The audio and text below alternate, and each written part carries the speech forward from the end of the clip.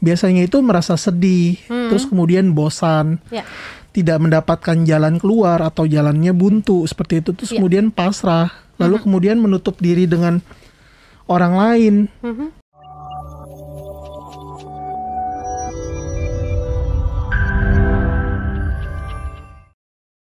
Sebenarnya paling penting tadi kan menanyakan kondisi, kemudian mendengarkan.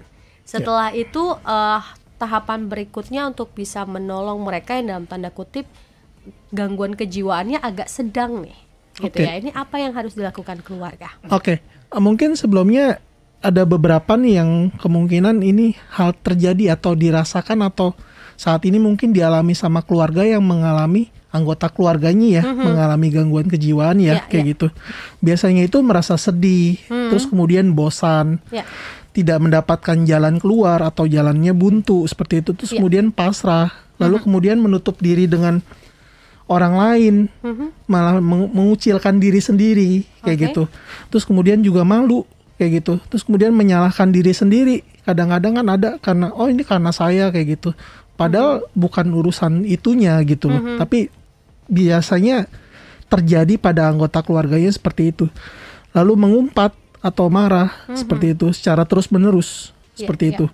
Lalu kemudian menghindari kenyataan yang ada atau bahkan menyangkal kondisi dirinya atau keluarganya Oh, kayak gitu. oke.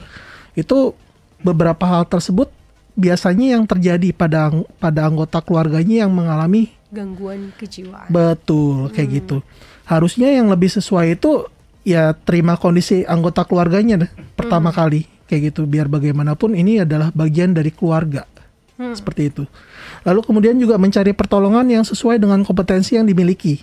Seperti contohnya. seperti ke psikiater Mhm. atau ke psikolog untuk gangguan kejiwaan seperti itu. Mhm. Lalu kemudian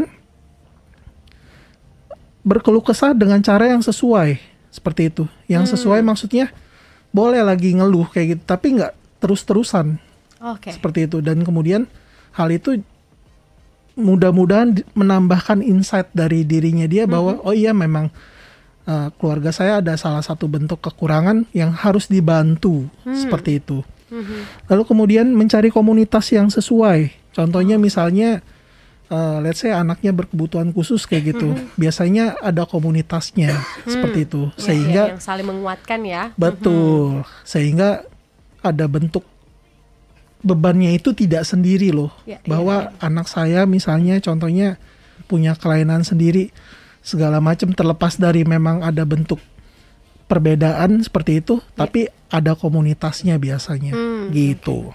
Nah, step by stepnya sudah disampaikan nih oleh Kak Ernest.